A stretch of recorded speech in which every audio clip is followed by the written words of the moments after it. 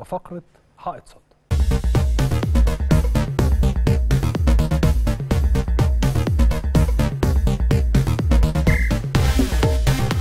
آه، النهارده في حائط صد هتناول الموضوع بشكل مختلف شوية. آه، حضراتكم متعودين مننا إن إحنا نطلع نرد على اللي بيتقال على النادي الأهلي ونكون حائط صد للي بيتقال. ولكن إحنا المرة دي هنوجه رسالة وتحذير للجميع آه، على أمل اللي بيحصل كل مرة. المرة دي أتمنى إن هذه الرسالة تصل للجميع علشان آه، اللي بيحصل كل سنة ما يحصلش المرة دي. والناس يكون عندها حس وطني شوية.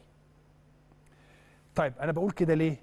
ورسالتي لمين؟ أنا بقول كده لكل واحد مش بيشجع النادي الأهلي ومش عايز الأهلي يحقق بطولات.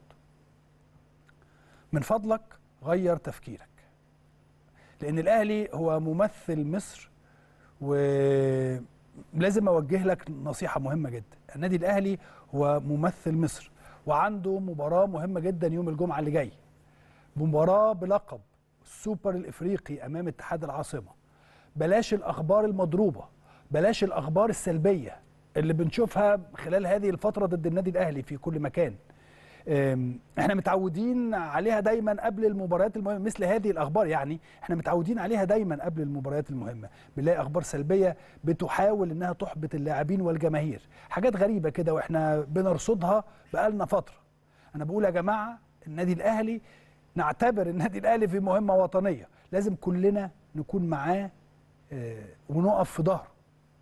حتى لو بالامتناع عن الكلام. مش عايز واحد ما بيشجعش الأهلي يطلع يقول لك أنا بموت في الأهلي وعايز الأهلي يكسب. لا امتنع عن الكلام. يكفيني جمهور النادي الأهلي لما يطلع يقول لي أنا عايز الأهلي يكسب.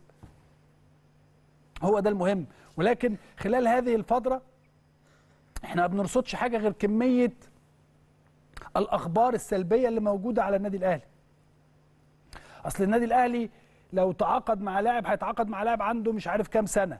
ولو النادي الأهلي لو ما تعاقدش مع لاعب أصل هو لم يتعاقد مع لاعب مهاجم. اصله لو كذا تسمع أخبار سلبية كبيرة جدا وكثيرة جدا. آه، لما أجي أقعد أسمع الأخبار السلبية دي وأبص على السنة اللي فاتت بستغرب جدا. آم، أنا دخلت خمس ب... مش أنا النادي الأهلي يعني دخل خمس بطولات. كسب الخمس بطولات. أما لو كنا خسرنا بطولة كان حصل إيه؟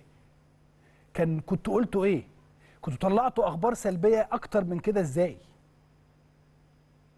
أتمنى إن الرسالة دي توصل ومن بدري. خلينا بس نبقى في ظهر بعض لغاية يوم الجمعة حتى ولو بالصمت حتى ولو بالسكوت ولكن لغاية يوم الجمعة. وبعد يوم الجمعة ابقوا ارجعوا اتكلموا زي ما أنتوا عاوزين.